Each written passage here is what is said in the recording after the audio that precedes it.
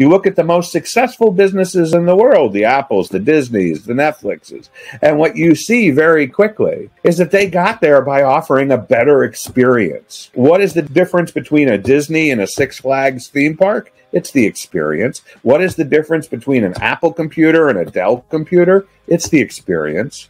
What's the difference between an Apple phone and a Samsung phone? It's the experience. It's purely the experience. That's what does it. And people will pay way more money for a better experience. So why are we not learning everything there is to learn about producing a better experience? The more we can improve their life, the more valuable they'll see us, the more they want to do what we want to do.